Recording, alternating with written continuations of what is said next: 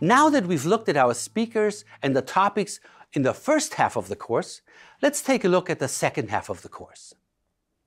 Module 5 is all about writing. Leila will discuss various artificial intelligence applications for language learning. Let's meet Leila. Hello, my name is Leila Karatay and I am from Turkey.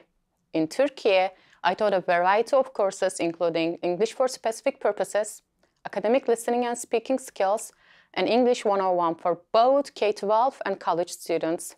As you can imagine, we will also introduce you to various applications you can use to write in this module. Let's meet Agata, who will showcase different word processing applications that can assist in the writing process. Hi everyone, I'm Agata Guskaroska, and I'm currently a PhD candidate in Applied Linguistics and Technology at Iowa State University. We're now moving on to Module 6, where we talk about listening, which is a very exciting topic, and students often love to learn more about listening. Ren will present tools for listening activities such as the ESL Lab, ESL Lounge, and many things. Let's meet Ren. Hi, my name is Ren Bowman, and I'm a PhD student in Applied Linguistics and Technology here at Iowa State University. I grew up not far away in Des Moines, and I'm here to research writing processes and literature, and especially literature in second languages.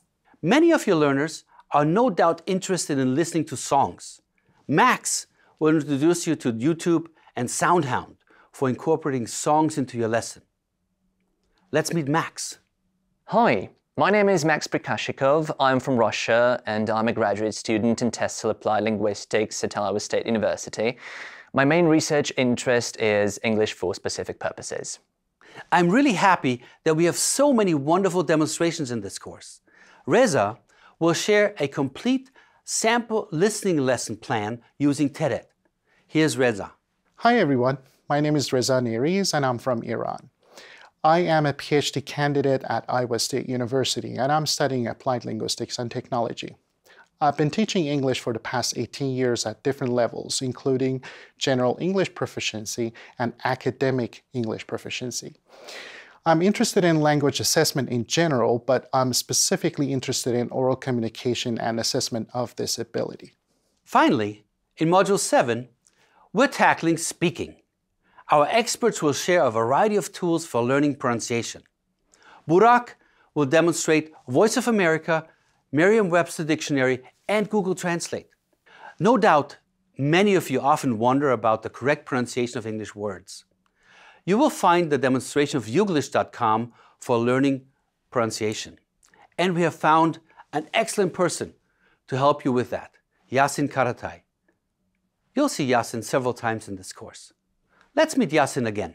Hello everyone, my name is Yasin Karatay and I am an English language teacher and researcher in the field of English for specific purposes. Throughout my teaching career, I've taught several academic reading and writing courses and various ESP courses such as English for tourism, English for medicine, and technical English for computer engineering, both in Turkey and US.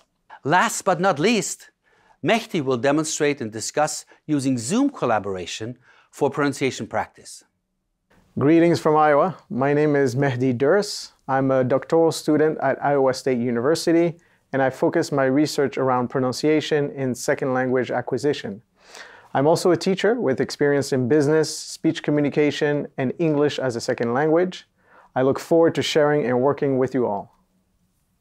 We hope these video demonstrations, useful technology tools, and reading materials provide you with valuable insights into the wide range of educational technology resources available for English language teaching.